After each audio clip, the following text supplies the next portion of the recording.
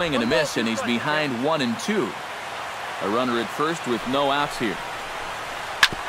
Oh, that one got the pitcher. But he is able to recover as he gets the out at first. One away now. Adam Duvall will stand in now, hoping to get on track as they've been able to neutralize his power out of the cleanup spot. 0 for 3 thus far. Well, guys, it just hasn't been his day. You know, sometimes cleanup hitters are sort of all or nothing type hitters. But hey, he's still got a chance to make an impact on this game right now. And that's through into right field for a base hit. And they won't risk it at third, so they're at the corners now with only one away. The tag gets one. And they will put the tag on him. They got him. And with that, the ball...